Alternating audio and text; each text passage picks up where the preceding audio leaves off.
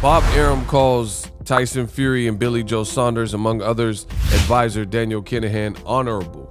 We're going to talk about that. What up, Fight World? It's your boy Ego, and I'm back with some more boxing. Make sure you smash the like button. Also, subscribe to my channel for the latest and greatest in boxing. Before I get started, make sure you click the link in the description to get TubeBuddy. TubeBuddy is a browser extension to help you level up your YouTube content. I use it daily. I use it on my YouTube. Started off as zero subscribers. I've scaled all the way up to 200,000 plus and counting. Let's go. Make sure you get TubeBuddy. Use my link. It does help the channel. Mike Coppinger of The Athletic. He has some quotes from Bob Arum.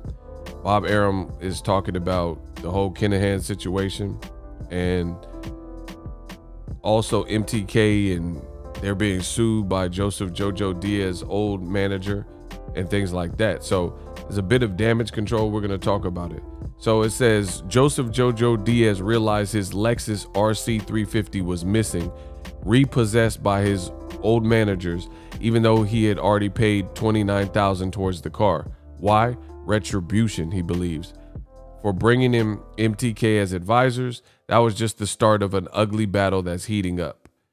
Bob Arum is quoted with The Athletic as saying that Coppinger's old advisor, it says, the guy, Ralph Heredia, is a convicted felon and cheated the fighter and filed legal papers about Kinahan being involved with the fighter. Joseph Jojo Diaz, he's calling out Kinahan, give me a break. So the the guy, the guy that's Joseph Jojo Diaz's old manager is suing and even accusing violations of the RICO law on MTK and Daniel Kinahan. And Bob Arum is basically saying that the guy is a convicted felon. So give me a break. How is he saying anything bad about Kinahan?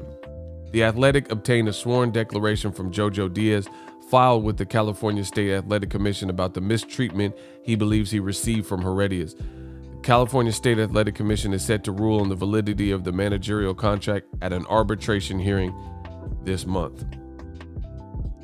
More from Bob Arum.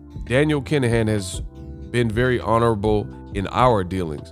What he did before, what he didn't do before. Fucking Don King stomped a guy's head in, and did that stop King from being a major promoter from most of his career? What the F are we talking about?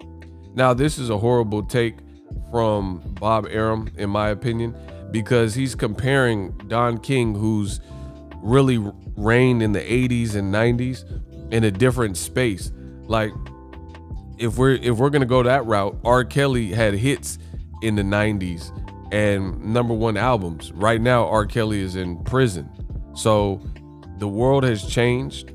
We live in a more PC and cautious world. So at the end of the day, Tyson Fury's advisor, Daniel Kinahan, and Billy Joe Saunders' advisor, Daniel Kinahan, he's saying he's honorable in our dealings.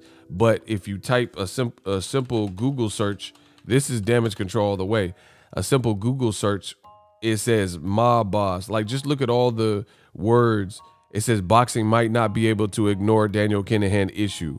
So they did a, a series, like a docu series called Panorama. And it's funny that Bob Arum would choose a random black fighter or black promoter who's not even really relevant right now, Don King, as a comparison. And that's like me murdering someone, and I'm like, yeah, but what about Helter Skelter? What about Charles Manson? What about Jeff Dahmer? Jeff Dahmer was eating bitch. You know what I'm saying? Like, what does that got to do with two wrongs don't make a right? You see what I'm saying? So he's being attacked and under fire for this campaign of hostility. And there's documentaries that are saying he's a billion dollar drug lord trying to whitewash his his past and get in the world of boxing and money launder and all types of crimes and executions and shootings and um, different things like that. And Bob Arum is saying he's honorable.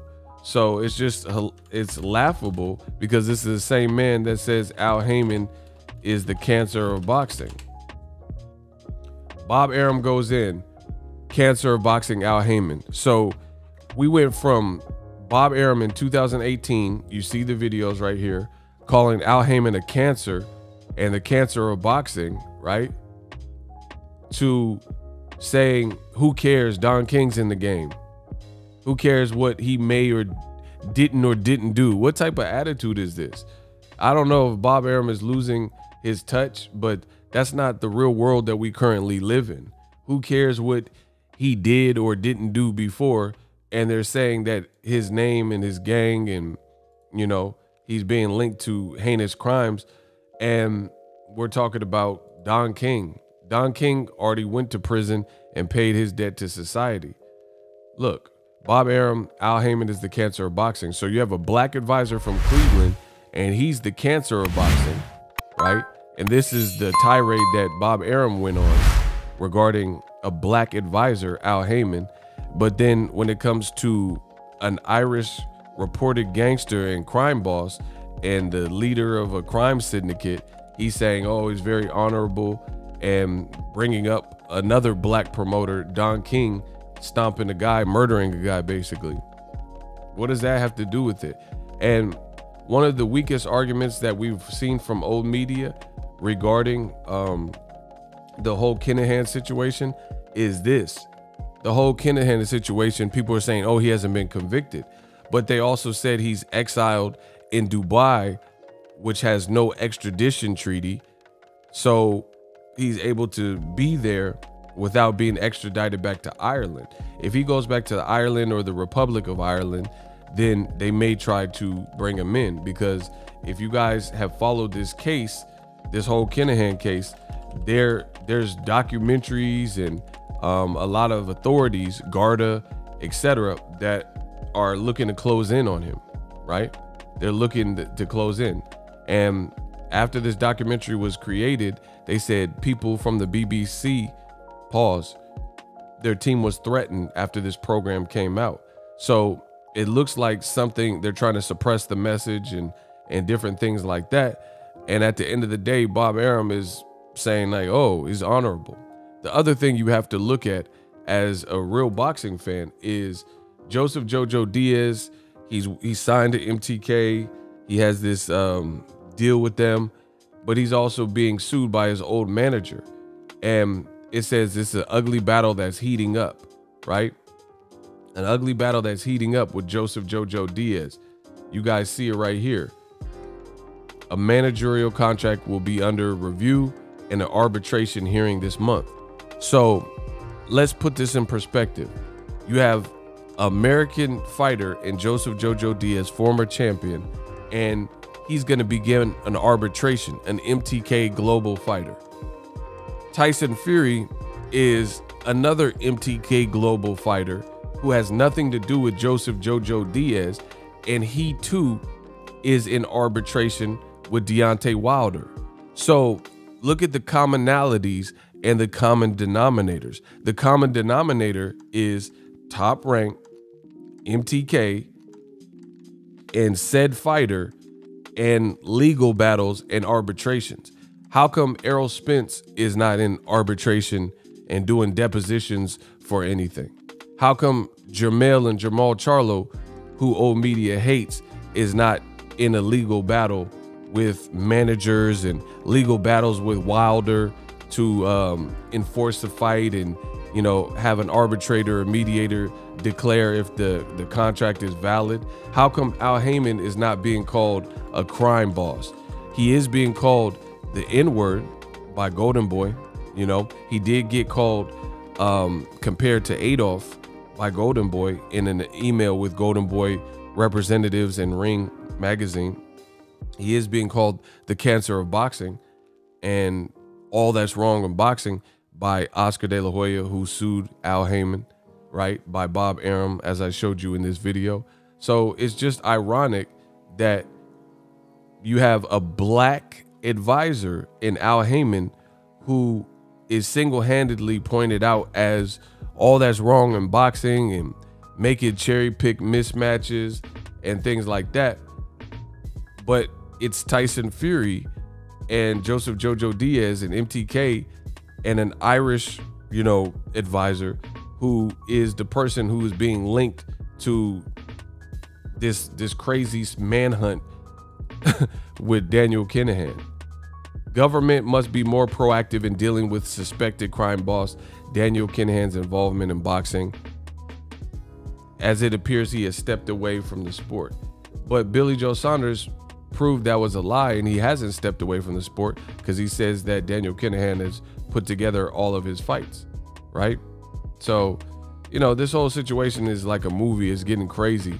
And it just goes to show you the double standards in boxing. Al Haymon does anything, they say he's the cancer. But then when it comes to someone who's reported of heinous deeds, you have Bob Arum comparing some random promoter, Don King, who already went to prison, and you know, saying he's honorable and who knows what he may or may not have done.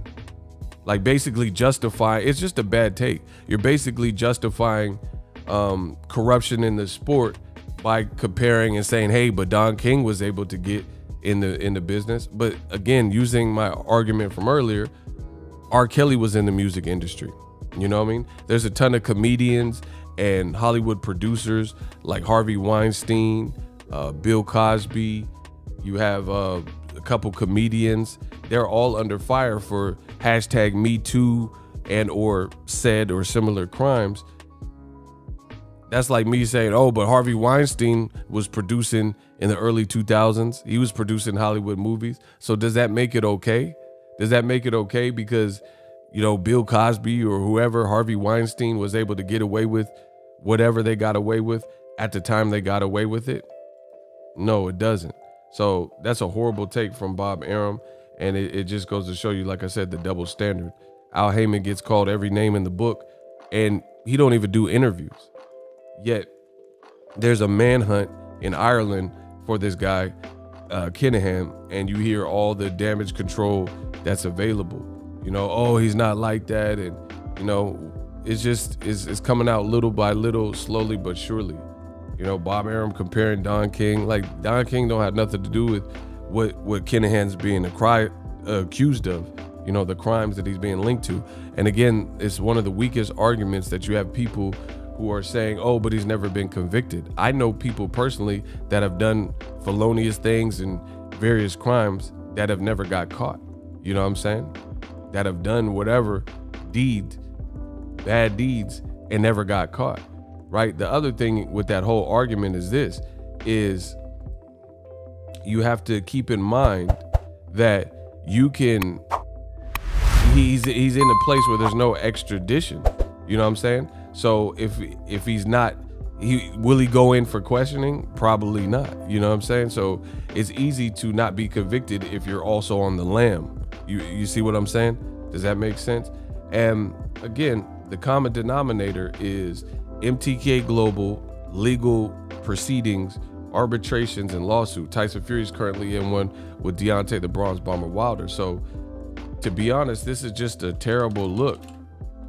This is a terrible look because you have you have one company and they have multiple fighters and they're all being look, Tyson Fury's dispute with Deontay Wilder remains a problem. See?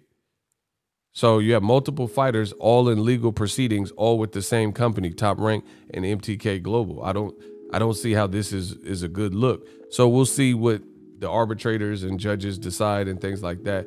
But they keep trying to do damage control and it's actually making it worse. Damage control, like we know Wilder's in arbitration with Tyson Fury. There's probably a gag order where they can't say too much, neither Wilder nor Tyson Fury. Bob Arum says that Wilder has no legal recourse, right? He has no legal recourse, but you're in a legal recourse you're in a subsequent legal battle with with Wilder basically in a in a private court scenario which is still a legal proceeding you know with authorized retired judges or whoever right so none of this is making sense none of it's making sense to say Wilder has no legal recourse but then he's basically trying to enforce a judge or retired judge to authorize a contract. And then yet and still you have Eddie Hearn saying that Joshua Fury is a done deal and it's close and one more week, two weeks we'll hear the contracts and have the fight announced and they keep putting it off and putting it off and you ain't even got past the arbitration of, of the Wilder. We don't even have an outcome for that. So it's cap. Let me know what you guys think. Drop your thoughts in the comment section. Horrible look. We work. Are you tired of your YouTube videos not getting any views? Well, consider TubeBuddy. I've used TubeBuddy for years to scale up my YouTube channel. Now we're sitting over 200,000 subscribers. TubeBuddy is a browser extension that offers a ton of built-in productivity and time-saving services to take your channel to the next level. Use my link in the description to get started with TubeBuddy and level up your channel faster. We working. So if you enjoyed this video and want more content like this on the channel, you can show your appreciation by going to the PayPal donate button or the YouTube support button, and you can donate any amount that you feel is equivalent to the value of this video. Much more to come. Thank you guys for your support. Boxing Ego, the future of boxing.